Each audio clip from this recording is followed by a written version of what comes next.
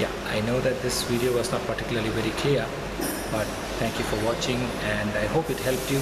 The main things to remember is that you've got a margin that needs to be at 90 degrees to the long axis of the tooth right like that and that the tooth is reduced always in biplanar reduction. That means there are two planes in which the tooth is redu reduced. One is the cervical plane and the other becomes the incisal plane which is slightly angled.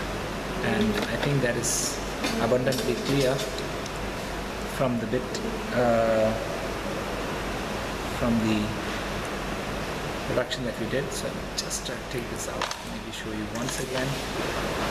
Might help you.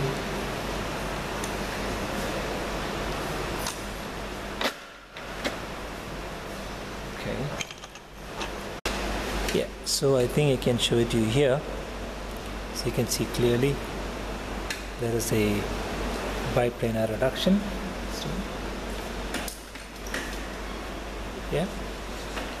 And I'm going to try to show it to you. So this is the one plane and this is the second plane.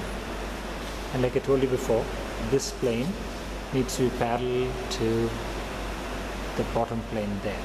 So this should be parallel to this to this that's important this and this should be parallel and this is the other plane and your cingulum reduction you need to check with a jig if possible to give you much more clearer uh, understanding as to whether you need to reduce any more. So that's my palatal reduction as you can see how it's been reduced yeah?